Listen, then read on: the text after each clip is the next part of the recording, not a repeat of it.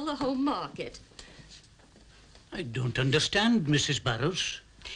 You're selling to 20th century customers. Your display figures must look like 20th century people. That's psychology, Mr. Robertson.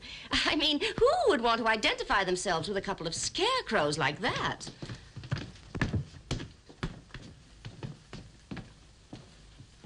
Simply step up production. Increase production by a thousand percent. Um, I'm afraid, Mrs. Barrow. You're afraid, but I'm not.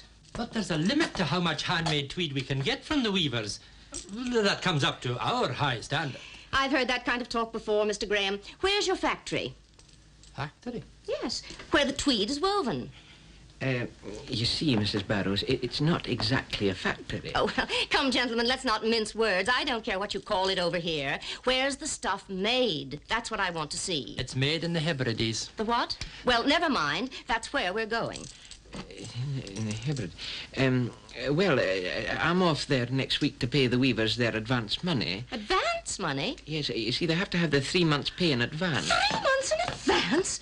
Well, no wonder you don't get productivity. How do other factory workers manage? But these are not factory workers. I have news for you from now on. They are. And they clock in just like any other factory workers. Do you have time clocks? No, I thought as much. Well, you must order them pronto. For each of them, Mrs. Barrows? For every man jack of them. Yes, Mrs. Three months in advance. Well, it looks like I got here just in time.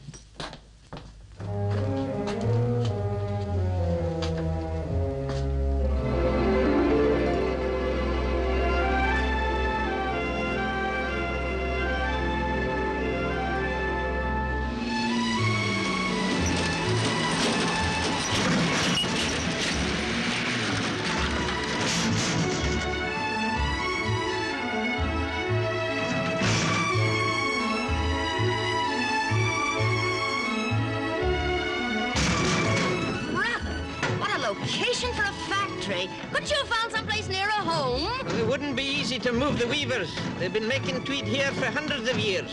They still make it in much the same way. Yeah, Mr. Martin, you don't surprise me. It's less primitive nowadays, you understand. How primitive can you get?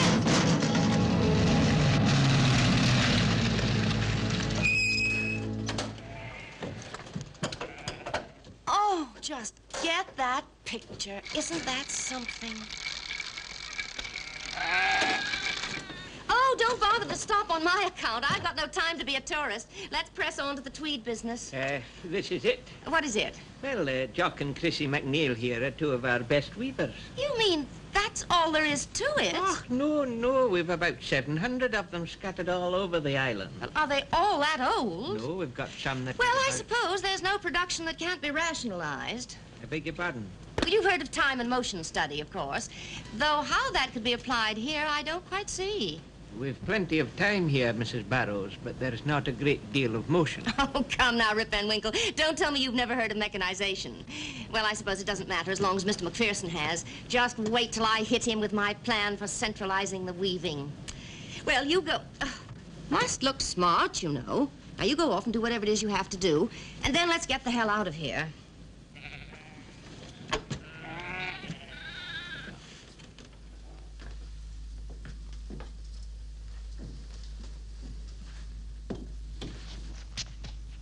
What do you think of it? Good effect, eh? Yes, it's, uh, it's very nice, sir. Is it for an advertisement? You'd be surprised. This is a model of the new factory Mrs. Barrows wants me to build for the House of Macpherson. Centralize all the weaving. What do you think of that, eh? You can't mean it, Mr. Macpherson. Well, I don't know. I mean, what do you think? Do I like it or don't I? Hmm? Well, it's not for me to say, sir. I mean, what would your father have said? Well, I don't know. Father says such a lot, didn't he? But we can't dwell in the past. We've got to move into the 20th century. Encyclopedias of the future may talk of the Macpherson new method of tweed manufacture. I really ought to get one or two of those miniature cars put outside the front entrance. They look absolutely marvelous. Robert, you quite sure you don't mind me going on talking about this? I mean, well, I- I'm not interfering, am I? My dear, it's your job to interfere. All right, Robert. Then I'm going to give it to you straight from the shoulder. Now, honestly, there is nothing wrong with my improvements. It's those old gremlins you've got working them. And if you're as smart as I think you are, you'll get rid of them. Get rid of them? Every man, Jack. You can't have them and progress. And as for those weavers, well, I mean, they could just draw their pensions and take to the caves. That's how much you need them. But who'd make the cloth? Join the 20th century, Robert. Stop making cloth for the privileged few. Make cloth for the millions. Build a factory of today to make the cloth of today. Synthetic fiber.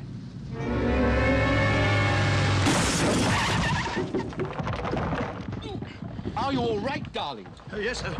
Not you, you great oaf! Clumsy oaf. Oh, it's time you got rid of him, too. And this old crate. Oh, Robert, you could have the whole industry by its ears. I've got the slogan for you, too. McPherson's fiber's what you need. Better far than handmade tweed.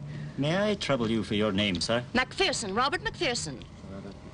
Would that be Macpherson's tweeds now? Synthetic fiber. Synthetic fiber? Yes, there was some talk of a factory. Aye, and there's more than just talk. The weavers are going to be evicted from their crofts. You're talking nonsense, Andrew. Why should they be? Why? I'll tell you why.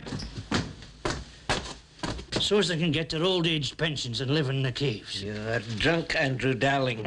He's only just discovered it. But what could it mean? They're surely not going to stop the weaving. Stop the weaving. They're going to make cloth for the million. Her and Mr. McPherson. McPherson's fiber's what you need. Fiber. Aye, synthetic fiber. Mr. Graham. Who's...